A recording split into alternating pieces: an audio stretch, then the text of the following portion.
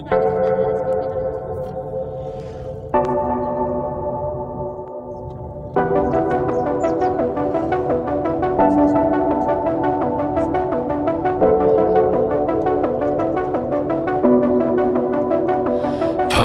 me, why don't you come over here?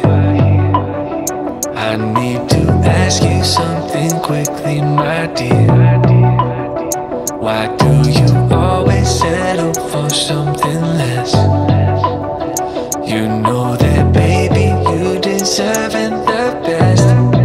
Yeah, yeah. Go take a look up in the mirror. You gotta see a little clearer.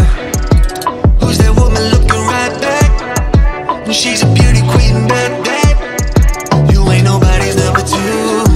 These men they should be fighting over you. No second guessing what I'm saying. Baby, you can sweet.